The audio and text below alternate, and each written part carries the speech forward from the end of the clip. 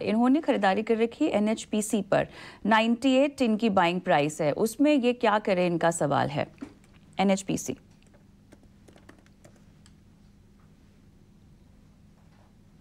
तो ये क्वेश्चन मेरे लिए है? जी जी कुणाल?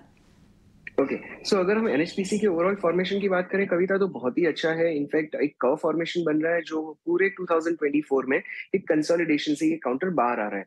एज ऑफ़ नाउ 99.80 चल रहा है। इसका जो ब्रेकआउट लेवल है, वो 103 का है। अगर ये काउंटर 103 के ऊपर निकलता है तो 125 तक के लेवल्स भी हमें देखने मिल सकते हैं। सो बाय ऑन डिप की रणनीति भी अडॉप्ट की जा सकती है। सपोर्ट लेवल 94 हमें ध्यान में रखना होगा।